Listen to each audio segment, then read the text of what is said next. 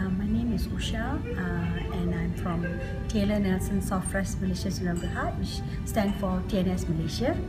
I attended this two days uh, seminar, uh, present, uh, presentation uh, seminar which uh, was uh, very impactful and uh, good uh, seminar uh, for those people who um, have uh, few knowledge about this presentation. Knowledge it, I think this will be really a good start and a good uh, way that you can progress. And the part that I liked most was the four uh, report um, template uh, which we can use uh, uh, during our presentation. And uh, Encik Johan uh, did a wonderful um, uh, presentation in uh, and sharing it with us uh, and it will be very useful for me when I uh, go back to my organization. Thank you.